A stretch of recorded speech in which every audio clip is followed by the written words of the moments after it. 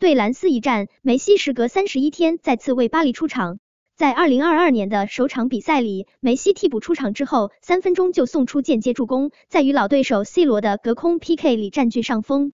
梅西上一次出场还是在二零二一年十二月二十三日，当时他在对阵洛里昂时首发出场。之后，梅西回到阿根廷度假，并且感染新冠病毒。一月五日重返法国之后，一直在进行恢复性训练。值得一提的是，梅西完成巴黎处子秀时的对手正是兰斯，当时他替补出场换下埃雷拉。一百二十八天之后，梅西迎来二零二二年首场比赛，对手还是兰斯，而他也再一次替补出场。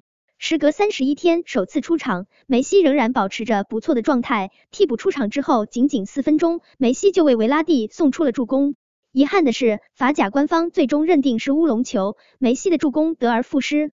略显遗憾的是，替补出场的二十五分钟时间里，梅西只有一次射门，也未能破门。在二零二二年，三次出场的 C 罗以及梅西都还未能破门，这是颇为罕见的一幕。不过，送上一次间接助攻，让梅西在两人的隔空较量里占据上风。此外，在二十五分钟的时间里，梅西完成两次突破，而 C 罗两百六十一分钟还没有过突破。在出场的二十五分钟时间里，梅西有四十四次触球，三十五次传球，二十六次成功传球。不过，他也有十二次丢球，这说明梅西还没有恢复到最佳状态。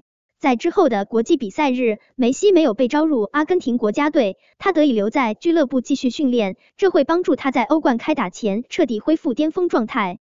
面对老对手皇马，梅西的表现值得关注。